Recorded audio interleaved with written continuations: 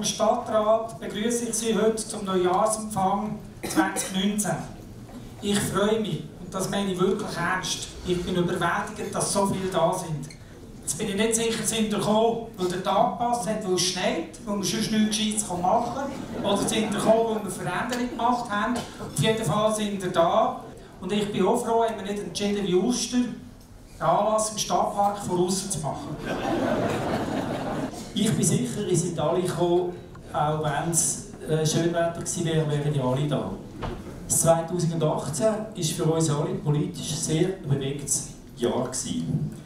Wann haben Sie das letzte Mal sehr viele Wetziger lachen und fröhlich gesehen? Sie ahnen es. Es war auf diesen vielen Wahlplakaten im April. Gewesen. Nebst dem fröhlichen Zusammensein hat der heutige Anlass auch den Zweck, dass Sie die Möglichkeit haben, mit den Politikerinnen und Politikern in Kontakt zu kommen.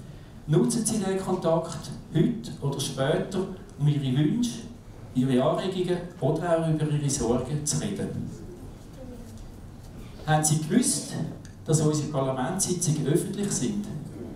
Ich möchte Sie herzlich an die nächste Parlamentssitzung am Montag, 28. Januar im Stadthaussaal einladen. Etwas ganz Besonderes haben wir uns für die Parlamentssitzung im März ausdenkt. Um Jugendliche einen Einblick in unsere Parlamentsdebatte zu erleichtern, findet diese Sitzung in der Aula von der Kantonsschule Wetzikon statt. Natürlich sind auch Sie alle an die Parlamentssitzung eingeladen. So erleben Sie hautnah, wie Demokratie funktioniert und Sie hören natürlich auch wieder unsere Parlamentsglocke.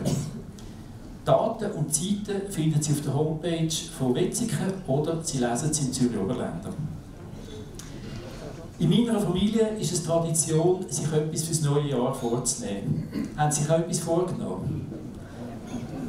Ich habe mir überlegt, ob ich heute meine Vorsätze preisgeben Und ich mache es. Das eine, ich möchte die Diskussion noch besser zuhören, damit wir tragende Kompromisse miteinander finden können und somit bessere Lösungen finden.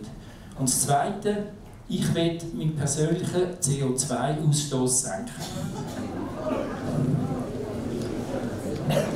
In Wetzikon leben wir in einer Stadt mit einer sehr hohen Lebensqualität.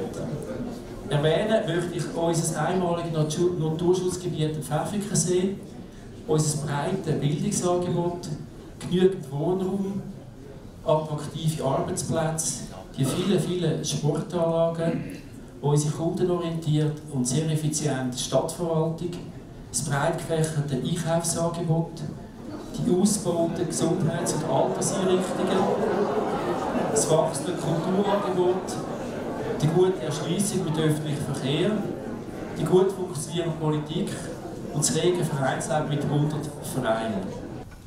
Mir ist an dieser Stelle wichtig, um das mal öffentlich zu sagen, Danke zu sagen dem Parlament für die Zusammenarbeit, meiner Kollegin und meinen Kollegen im Stadtrat für die spannenden Gespräche, für den konstruktiven Austausch und vor allem auch für den Willen, für alle anstehenden Themen adäquate, konsensorientierte Lösungen zu finden.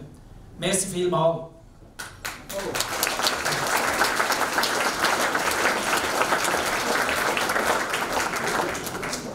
Wetzikon als Stadt von regionaler Bedeutung bietet seiner Bevölkerung Lebens- und Arbeitsräume, in denen sich Menschen wohlfühlen.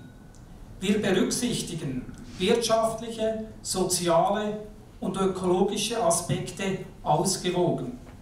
Das Vision 2035 oder später, wie Wetzikon könnte aussehen. Häufig wenn ich so kurze Ansprachen darf halten wie heute, tue ich daheim das meiner Frau vortragen. Und mir nimmt natürlich Wunder und ich will gerne hören, hey, das ist gut, das ist super, das ist lässig. Ihre Aussage zu der heutigen Ansprache war, ja, ja, es ist okay.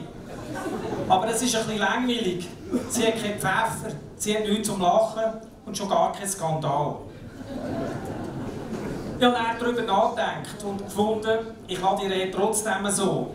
Denn ich bin zufrieden, wenn es für euch auch so ist.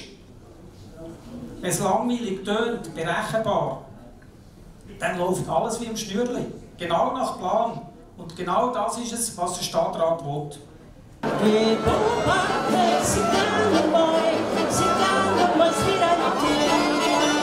Geboren,